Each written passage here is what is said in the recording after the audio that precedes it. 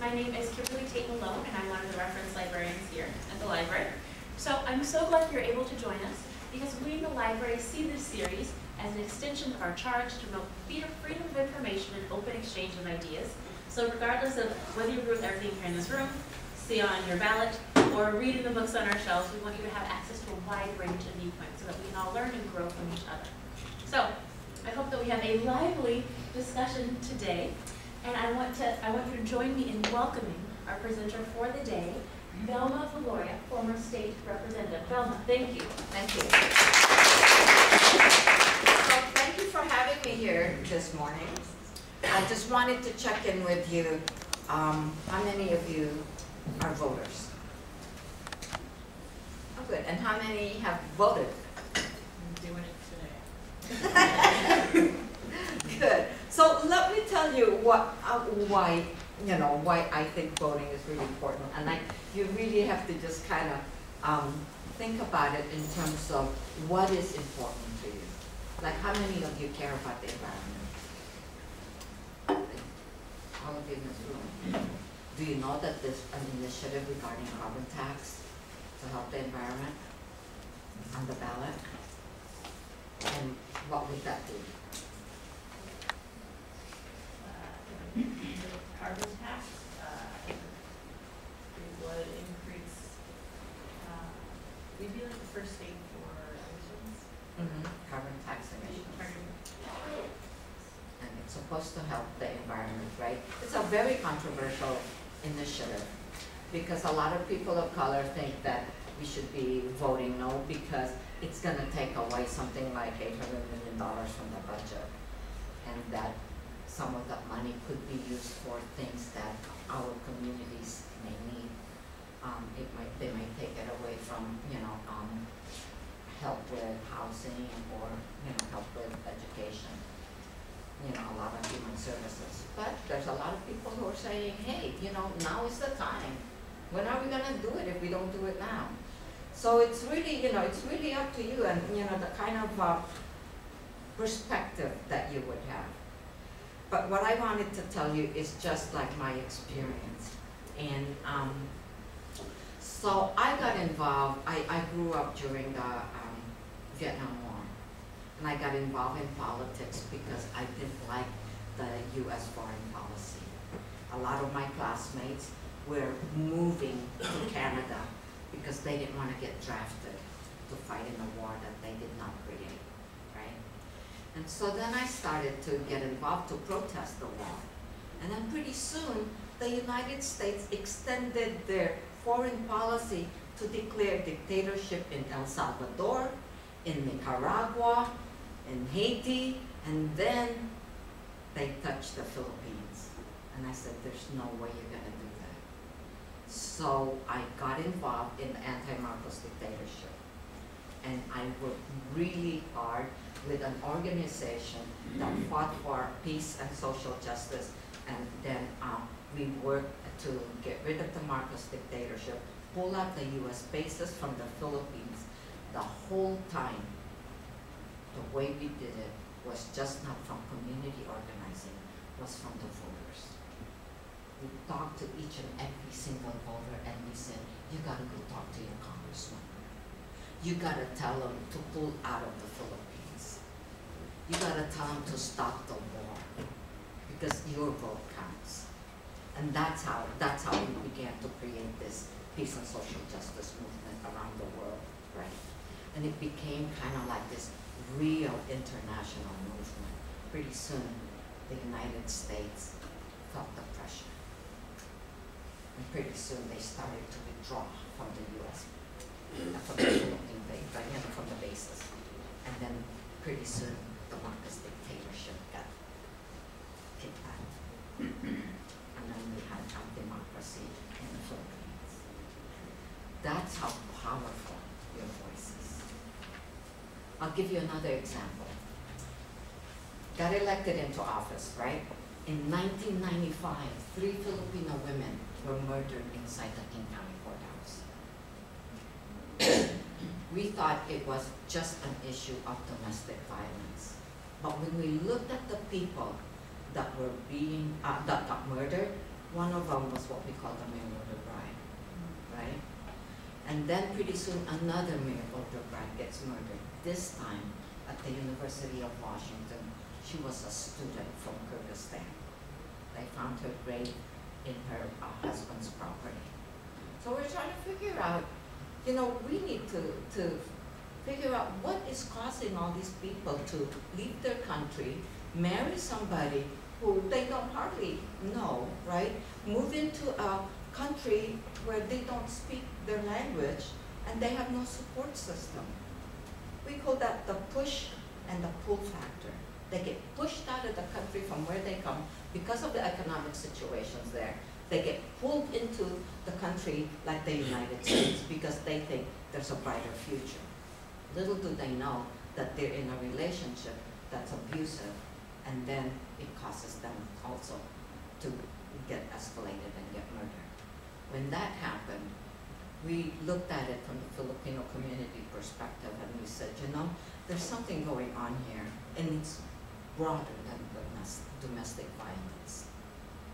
We had this woman do a, do a research paper and she called it bride trafficking.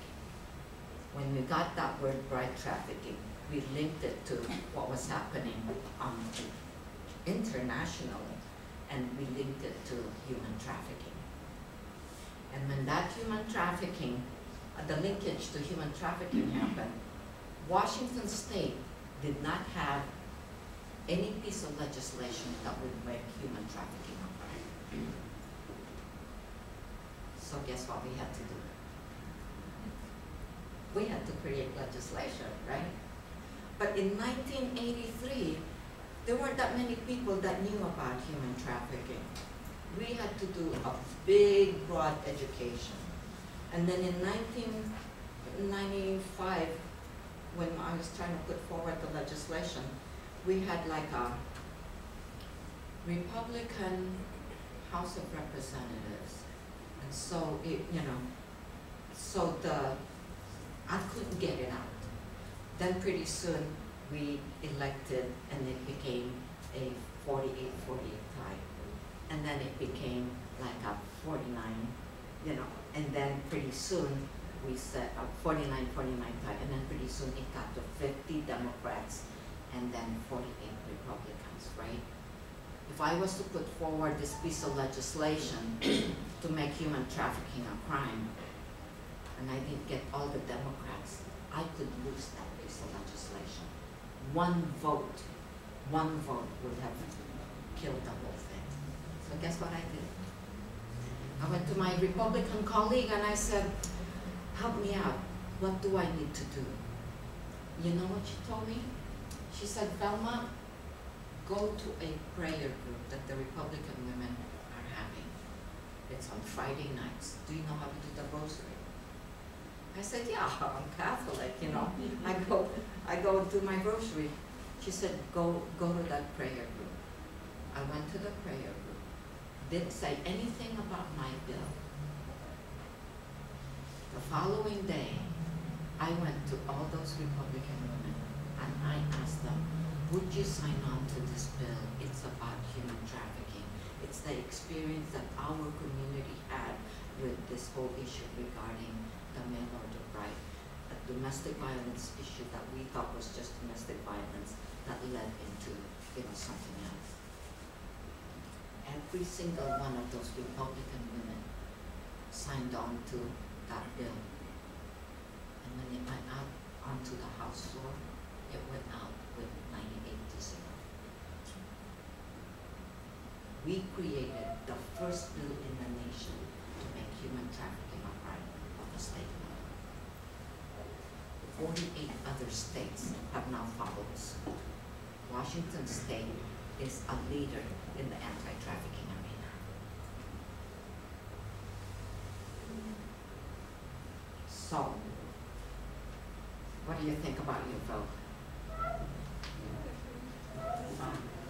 I agree with what you're saying that, you know, vote has power, but I think it ultimately comes down to what the on ballot is. So like you talked about the carbon initiative, right? Um, it also like takes out, um, goods and manufacturing tax for Boeing and, you know, all of the big employees. Mhm. That needn't, you know, that shouldn't have been on this, you know, On, on the initiative. Yeah, And So- that's the controversy, that's why people need to know and understand some of these initiatives, because that's the controversy. If you take away all those taxes from those different corporations, it creates a, um, downturn in our, um, revenue. And then it would also create an impact on those that are most affected. So there is that, you know, like, whether you're for it or against it, and it depends on where you stand. So you need to understand those issues right? One of the other things, because I work on the issue of domestic violence, there's, I, I take a look at my cheat sheet, but there's this, um, initiative fourteen ninety-one. Do you know what that one is about? It's about taking away the right of a person to, to have arms if they are found to be, um, unstable and may cause harm to other people. Which initiative? Fourteen ninety-one. It says it's issued at, it, extreme risk protection orders. Excuse me, if anybody wants to mark up a voter's booklet, we're here. Oh, yeah.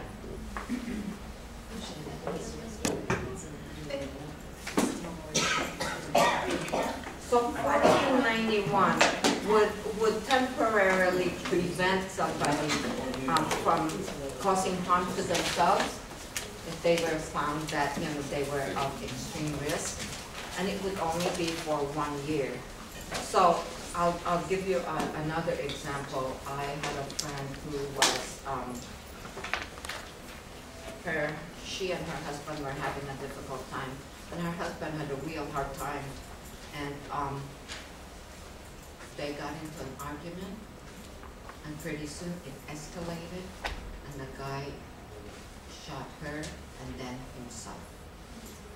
If we were able to, um, tell, because most families tell that, you know, some, someone is escalating their, their violence, then there's there's a way that they can go to the family or to a court and say, we think that this person is going to cause harm to himself or you know to other members, and we would like to have an order to uh, look away from him or her. So that's initiative 14. And then I had this favorite initiative. How many of you know about, um, fourteen thirty-three?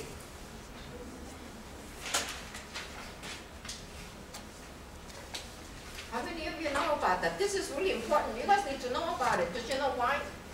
It's gonna increase your minimum wage. Oh, yeah, that, huh? Remember fourteen thirty-three. It's difficult to remember all the numbers. numbers. I think it's easier to remember. Yeah, it's when difficult, it but goes if you on. say raising the minimum wage, but you have to understand the, you have to remember the numbers because that's what's on the ballot. Okay? So those are really important. So by, the way the initiative goes is that over the next four years, you know, your the, the salary will increase so that by twenty twenty, you, you know, people would be getting thirteen twenty. In Seattle, it's a little bit higher, but it will not impact Seattle. It will impact those that are, you know, outside of the fifteen dollar minimum wage. So when we have the increase in Seattle from fifteen, everywhere else by twenty twenty will be getting the thirteen, fifteen? No, right, yeah, Okay. but right now, I think Seattle has the fifteen, or It's thirteen, yeah, It's supposed to be thirteen, sorry. And it's actually worth more than the, what, the dollar amount that it will come up to, because another piece of that initiative is providing paid health Right, sick yeah, exactly. and Yeah. And that's worth, that's. So that, that- yeah, so that's worth it, so that you can, you know, that, that adds, like, for every forty hours that you work, you get one hour of paid time and, um, sick leave. So, so yeah, it will add up to more, so that's why, you know, and then, you know, what's really hard is that, you know, trying to put it into the, in, into the legislature was really difficult, so they have to put it in front of the people and say, hey, you guys make the decision but it will be statewide. okay? You know, other initiatives, do you know other initiatives that we should be voting for? Um, there's the lobbyist folks. so- Oh, tell us about that one. Um, This is really important, because I'm also a lobbyist. Of course you are. Um, so, from what I understand from the initiative is that we would get like a fifty dollar, almost like a credit. Um, so instead of, because lobbyists and candidates will go door to door, canvassing almost to get more money. And so we will get like a credit from, um, state funding to choose which candidate we're gonna go to. Because some lobbyists will have more money than others, or some candidates will have more money than others, so, um, they have more money going into that, so you get more commercials, um, more campaigning for that particular person, and they don't really make it fair for others. Is that kind of Yeah, so this would, so you this would would know make where it your more money's fair. Going, and Yeah. also, you're not spending your money, like, this is government funding going into the campaign, just, So where's the money gonna come from? that's a good question. Oh. It's on the ballot, it would, What initiative, what number? I don't know, Fourteen sixty-four. There you go, fourteen sixty-four, yeah, It would, oh, it would take away the sales, it would come from sales tax? sales Sales tax, tax, yeah. that's what the money would come from. I have a question, Mhm. because a large part of what, I'm just wondering how responsive voters would be with their credit. Um, and if any other state has a measure like the one that's being proposed. Um, I'm just wondering if there's any kind of idea of what the numbers would be for people to actually use their voucher, their government voucher? Oh, um, that I don't know. Yeah, I, I'm, I'm curious too, because I Yeah. feel like a large part of the, They, they, you're saying they won't use it even if yeah, I they feel like voucher? would silo people even further from, uh, knowing all of the issues. We Mhm. would have a wide range of, um, different kinds of legislation, even though money is a big part in how, I mean, this is the big part of how anything works, so. Mhm. There are organizations that, that I am more inclined to vote for because they have a bigger budget, like maybe like the, like Maryland pro-choice or, um, Planned Parenthood. Um, I feel like those dollars that I get for those organizations are to, for them to then go out and create, um, have funding or lobby. Their- their for- advocacy, Yeah, and yeah. advocacy Uh-huh. and I'm just wondering if they're limited by the amount of money that they are able to spend in election cycles, how that would, what the potential negative consequences would be. I think it's the, I think it's like the, the bigger corporations would be limited in giving money. It's like up to five hundred. Yeah, five hundred dollars. Yeah, want. I think it's a thousand. Okay, so this, what fourteen sixty-four says, no more than a hundred dollars for any candidate they lobby or that has control over any public contracts. Over public contracts, so Mhm. that's the kicker. So, yeah, so It's it's people who have Yeah. invested, private, for private interest in the, into public. into public. And, and Planned Parenthood is a private Right. organization, Right. yeah. So as a lobbyist, I mean, how do you feel about that initiative, just because it's. Well, Well, no, that, well, I think it's a good initiative, okay, because I don't spend more than like, as a lobby, many people don't make that kind of money. Right. Many lobbyists don't make that kind of money. Right, So for me, twenty-five dollars to give to a candidate is a lot. yeah, And then if I, you know, if I feel like this candidate really needs my support, then I'll go the extra mile and give the hundred, but never have I ever given more than, I think, a hundred. Okay. Yeah. I'm thinking I- about bigger just- corporations. But yeah, bigger, you know, bigger 'cause I think corporations, that's why I think, of- think about, you know, the individual as a lobbyist. Mhm. Yeah, the bigger corporations, and I think that that's what it's targeting.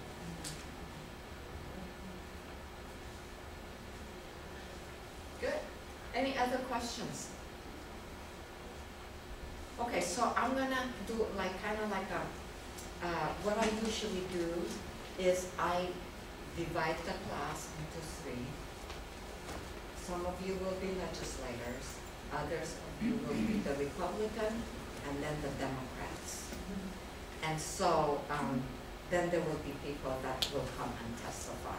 So, what I want to do, I'm not gonna use fourteen thirty-three, but I'm gonna use this, this, um, Citizens United campaign.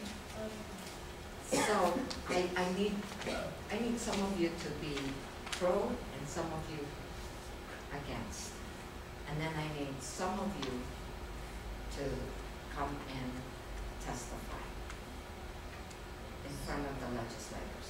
So the legislators would be me, Patty, and Kimberly. Okay? So, so gather together, I'll, I'll give you fifteen minutes. Uh, Citi- Citizens United. They are So are we saying the proponent of Citizens United is being a proponent of repealing Citizens United? And then if you're. So this side would be repealing Citizens United. Okay. This side of the room would be in favor of Citizens United. Okay. I want to be over here. I want to What? Are you in repeal. favor? You I guys- never spoke in English, so I don't know. I know, yeah. Okay, so then you have to choose one person to come and testify in front of the legislators. You have to choose one person to come and testify in front of the legislators. So there will be two people testifying, one pro, one con. Three legislators will be listening to your arguments, and we will be asking questions. Okay? We're talking about repealing the, the Supreme Court decision of Yeah. United, that the Yes. Okay, so you guys gotta, Corporations We have are, to figure that out. Uh-huh. so the Citizens, I can do either Alright, way. can you tell us what it is? the Citizens United. Okay, so why don't you, why why don't you explain? Uh, the Citizens United decision was by the Supreme Court about five years, oh, twenty, no, 2011. 2011. 11 2010. So, so, okay, so in 2010, the US Supreme Court yeah, I saw. made a decision yeah, to say that corporations are people, people, yeah. So that then they can give unlimited. okay? See now, I'm. Okay. Yeah, So, so, so, so, so this initiative, initiative, initiative 735 Oh, would, would go back to, um, the, to Congress and they will ask, um, the state to repeal this decision. Okay? I'm a, proponent, being a proponent of cities. So this is repealing, this is in favor. This is kind of like oh. uneven. I need a few of you more to come this way. I didn't even know what it was. Yeah, it's, You'll be for maintaining. How about you? You maintain too? Are you going to maintain the Supreme Court decision? Then you're on this side. no, we're repealing it. Well, we We're have a to- proponent of repealing it. We're gonna say yes to that initiative. Yeah, yeah, that's what he's saying. Oh, okay. Okay, so you guys gotta caucus. You gotta talk about why you're repealing it, and then you gotta talk about who is going to represent you in front of the legislature. So is this our. Same thing here, oh, okay? Five. We're going over there. You're all in favor of initiative seven thirty-five. So- In favor means you're in favor of maintaining the Supreme This Court's is gonna be so decision. Interactive. So you need to make arguments about why you wanna keep it. American Life. Make a decision which of you is going to testify. Uh, Take the money and then I'll. Have your talking points, and then in, in ten minutes, This group made a ton. day, any one of our. so by Organized. eleven thirty-five, Uh, They need to raise. you should be, uh, twelve thirty-five, you should be ready. For it to be move a little closer together, it'd probably easier to discuss. You can either sit in a They're thirty-seven thousand dollars, and so you, it's really interesting, Wait, wait, you can't gets cancel together. your office as an elected official, you want to sit in your building across the street. and have, Like a little office. Well, maybe some other that are called, they're called special interest groups, um, trying to get money. Yeah. that we all know exactly what it's about. So, saying that corporations are as individuals, and that's just so they can.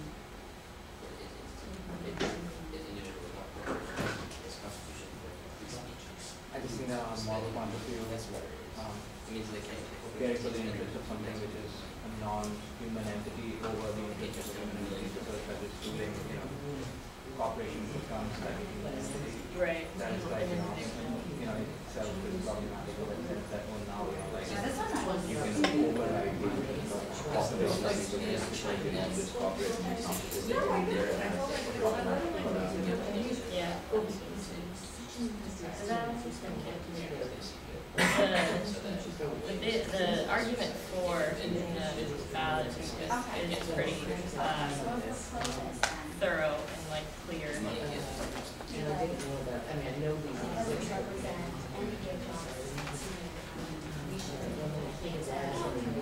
Support. So sixteen states and six hundred fifty municipalities have already passed measures. So as corporations.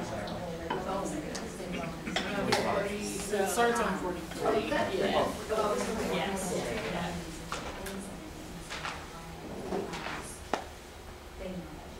I think like another part of the, ruling was that corporations are people and uh, money is like speech. So like, you know, when you obstruct money from going to, uh, you know, political party, you're obstructing free speech. So in a way like that is unconstitutional after this ruling. So I think that's like the second half of that corporations are and uh, money is We're speech. representing that. Yeah, yep. Um, Um, spending, yeah, so, Because the law has. so calls, uh, initiative seven thirty-five calls on Congress to initiate a constitutional amendment overturning Citizens United and, and stipulating that spending money is not protected flows. So, but it, it's, One of the arguments too is this applies that corporations are engaged in their other industries where yeah, so you get a lot of money coming by affecting municipalities speech, which is a weird thing to think about. Corporations have this suspect of foreign, foreign business. um, I would feel that on a global level, um, you know, companies who have laws made in America protecting their rights because of, you know, all the money that they get from this and they have been like, you know, creating really fabulous solutions for, for like countries like Bangladesh, you have all the family and economy and in a way like those countries in the Middle East, those, uh, these corporations in America, you know, because they're affected by the law because of, you know, speech. So, you know, I think in two thousand about thousand people died because of factory, you know, Bangladesh has, you know, they can also American apparel and all these. So like, you know, from a global point of view, it's in America, like, whatever laws, are passed we can read it. Yeah, why don't we all read it for a minute and then come back with the questions?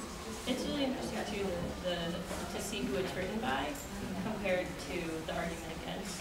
If you look at just the amount of more support and then how much more wide ranging the It's proponents like two against it. Yeah. And they're just First Amendment defenders, which, again, they're equating money to. So, which is inherently unconstitutional as.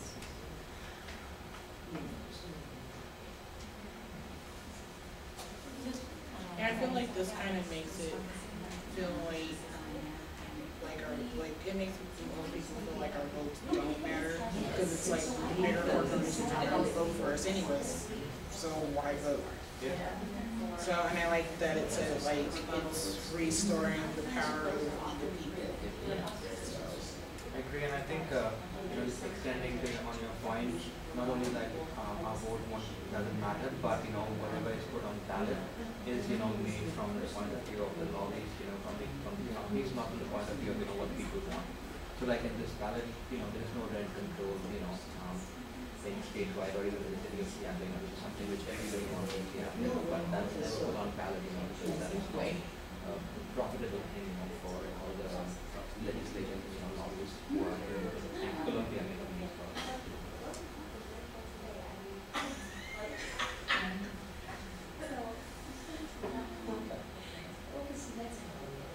Yeah, handing over the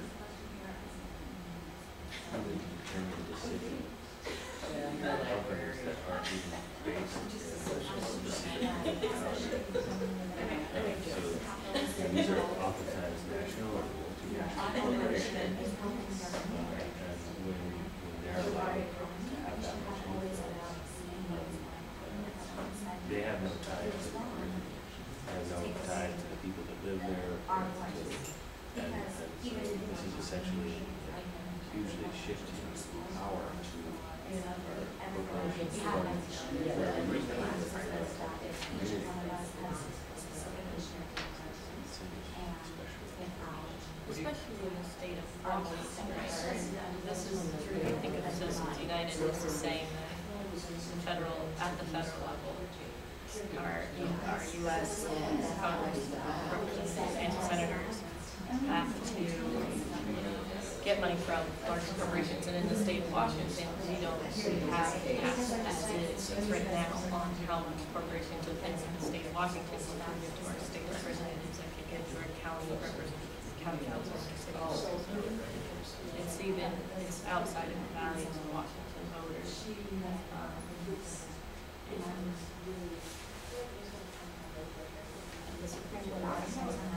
really know how, because there's, our, the Attorney General of Washington did, did sue along with like thirty-two other attorney generals, so shouldn't have happened.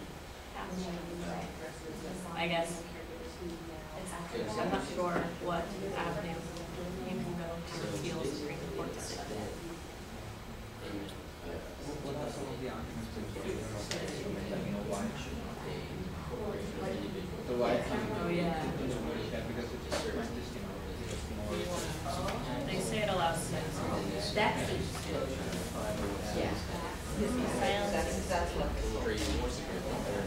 Only where they get this money. They're, they're, they're- they have assumptions. This is what she's talking about, that exempt That by putting these restrictions on corporations, Okay, it's the in-home. restrictions on citizens, so they're considering corporations as citizens. It's like self, um, you know, uh, referencing and all that.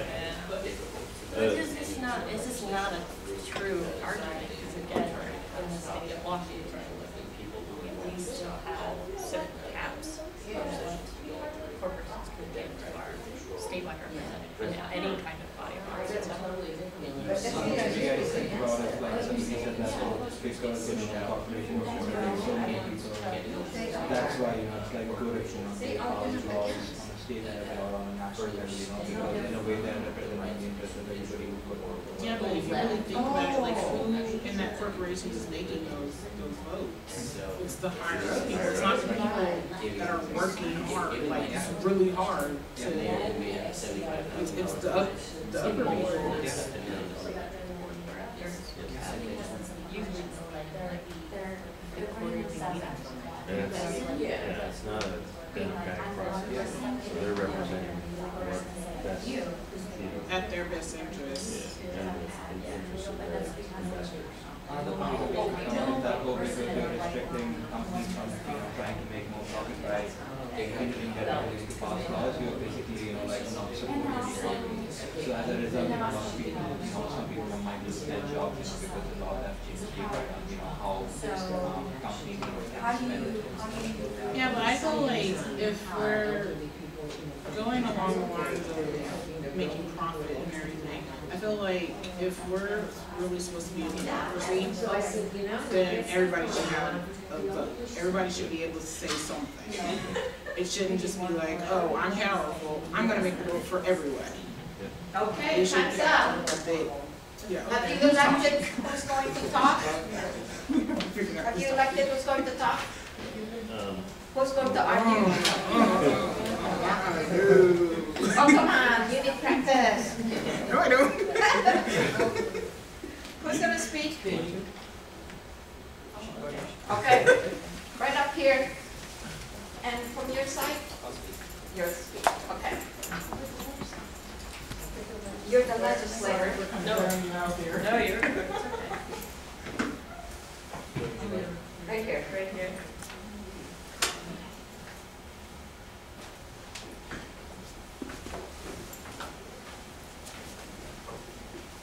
Okay. So, this is how the legislature works, right? You've got two minutes each to talk about your issue. We're here to listen. We can ask you any questions about it, right? And then at the end of two minutes, you're done, the next person goes. Do you Okay. first?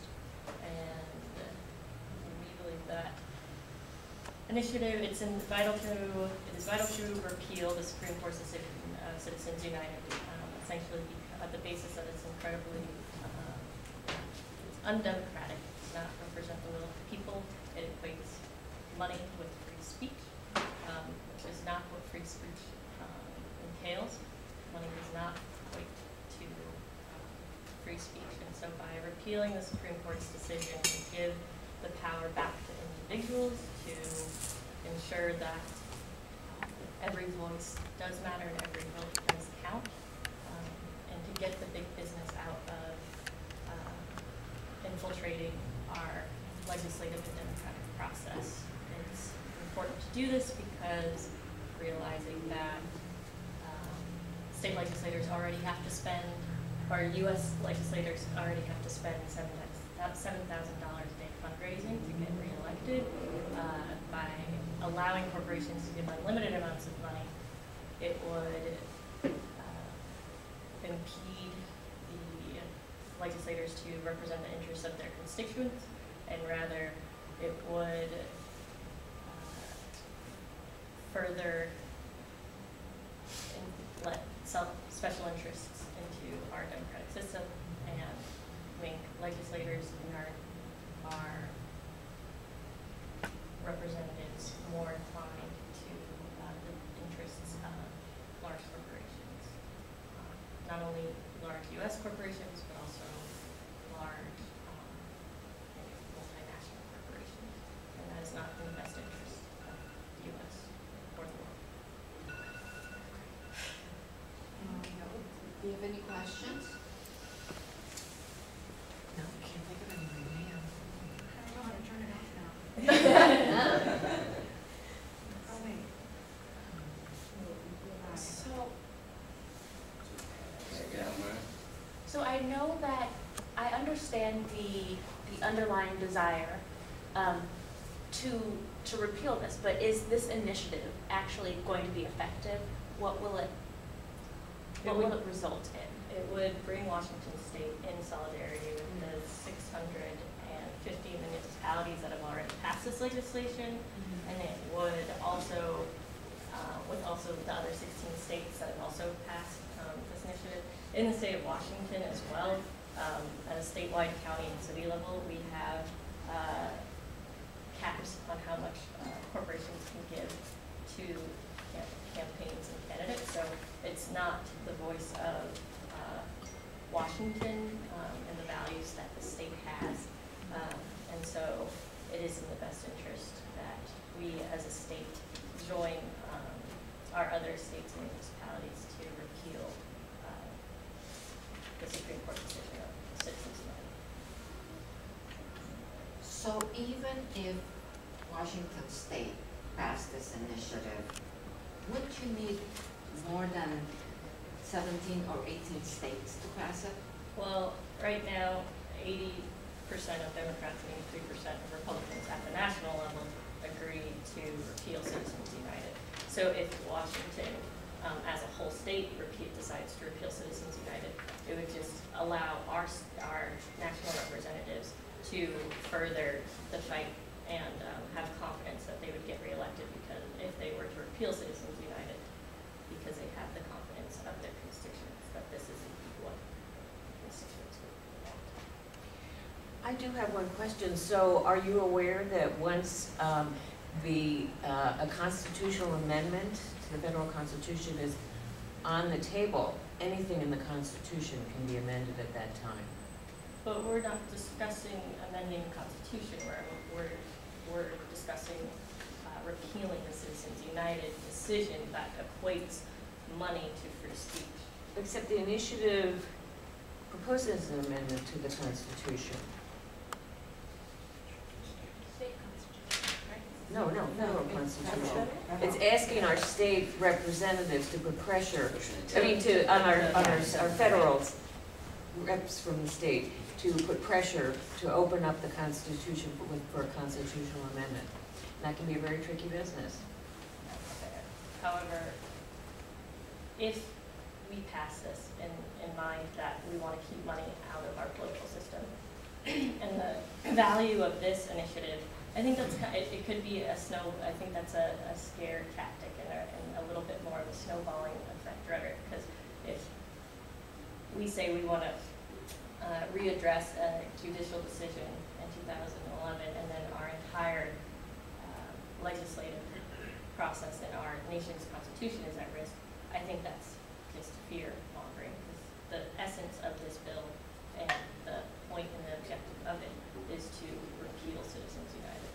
So I think our, I think I, as a voter, I have confidence in our national representation that they would keep in mind the value and the, um, just the, the, the value of the, or the value of, yeah, initiative seven thirty-five.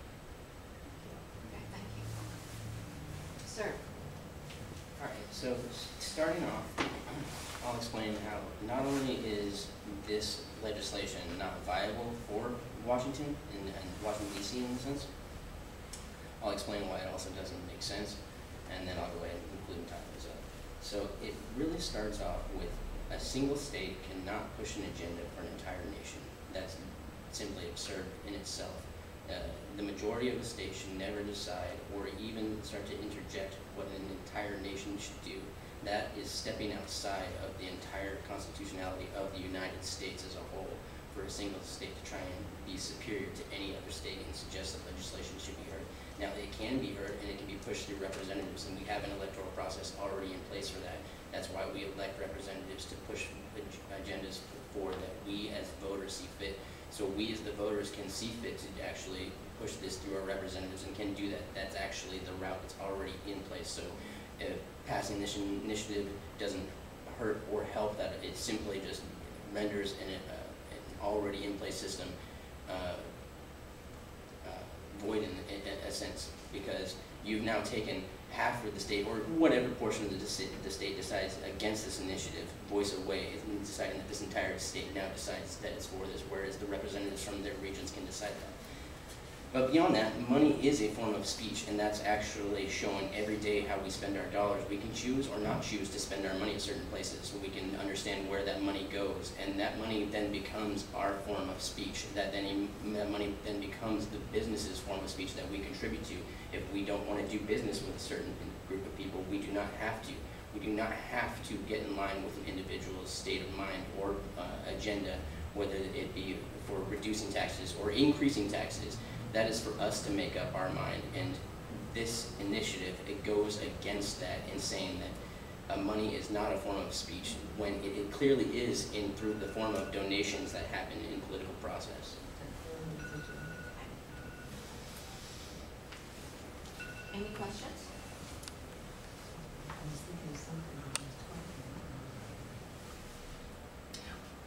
I I hear what you're saying about um, one state cannot push the agenda for the nation. However, the nation is made up of 50 states and of delegations from individual states. Don't, I mean,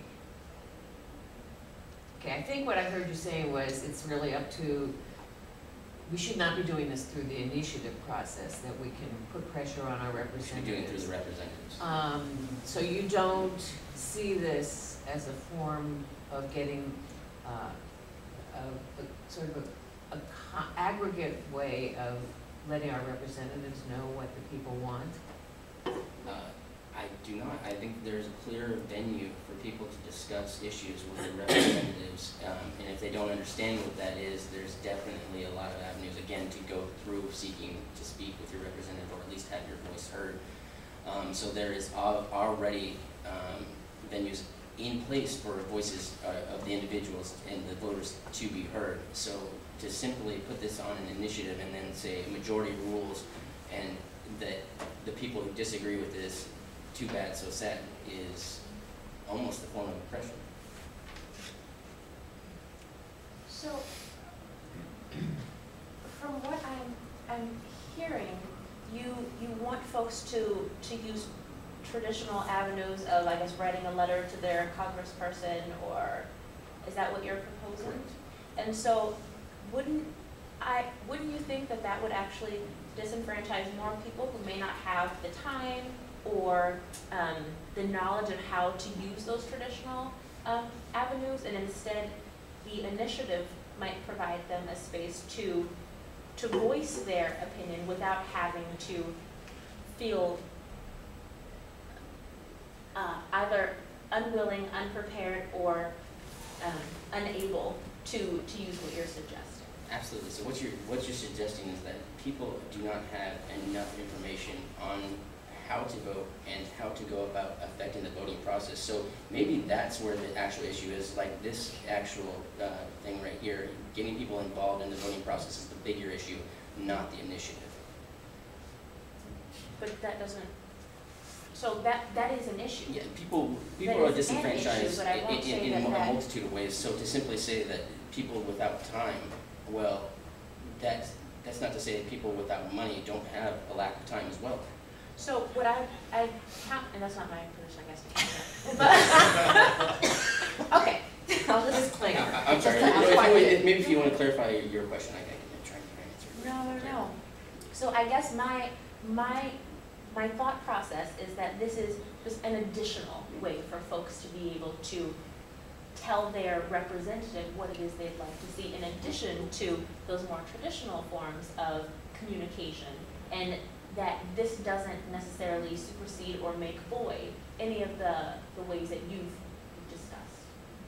But my, my contention with that is it would be voiding because it would be a majority rules also. It'd be basically our voice as Washington state would be against United Citizens United, whereas people in certain districts may feel for Citizens United. So you'd be disenfranchising those voter, voters and those representatives that feel that Citizens United is a uh, just call by the Supreme Court. Well, the measure actually says to, would urge the Washington State Congressional Delegation and not mandate. So this could be one piece of information that delegates would use in addition to the other information that they gleaned from. But what's really only coming out of this is a voice from Washington to Washington mm-hmm. saying that we want to, we want to change this, whereas we use our state representatives to enact legislation all the time, and that's always the way that it's been done. If we want to change that, we want to change that to a more voting-based legislation that we decide on a federal level, then, then maybe that's an entirely new process we need to adjust, not necessarily be representative-based, but be voter-based. And that's an entirely new system, and that's maybe what the initiative should have just addressed. I understand this is your assigned position.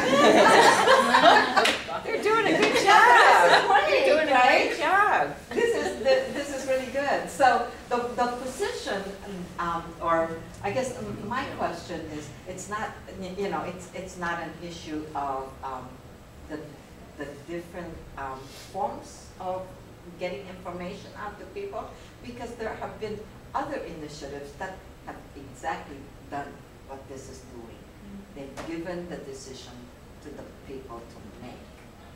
And so I, I, I guess that's why all these initiatives are on, even this whole issue regarding the minimum wage. But no, but I understand, but I think you guys did a real great job, so.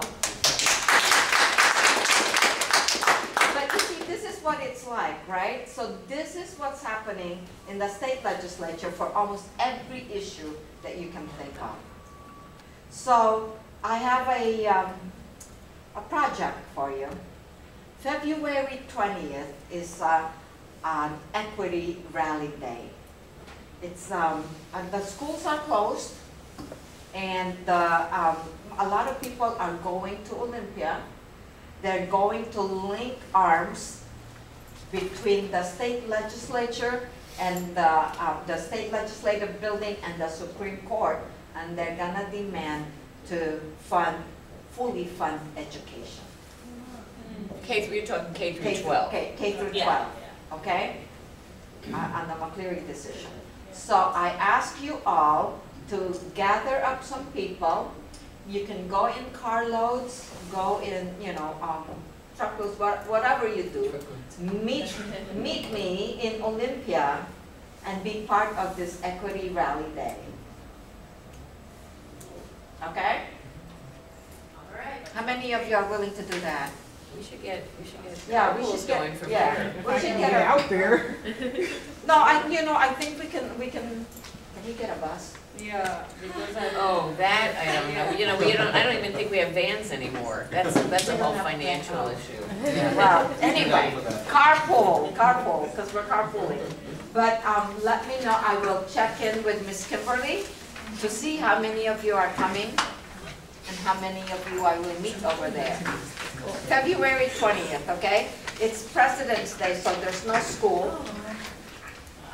I, I just want to say, thank you so much, and I'll, I'll let you do the thing, but I just want to say one thing that- I've learned from. I've just met her during this election cycle, and I just love working with her. I've learned so much from her.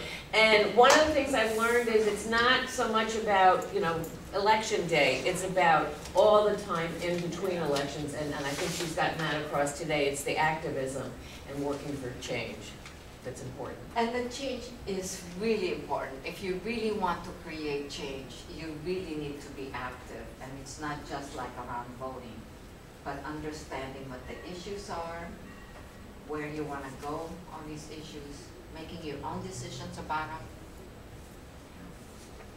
It impacts your life. And then we create a revolution. All right. Okay? Thank you so much. Please join me in thanking Velma for her time. I will take the surveys as you leave, and please keep your voter's pamphlet and read up on the issues that you aren't maybe as clear about so that you can have a voice next week and going forward. Thank you so much and have a great day.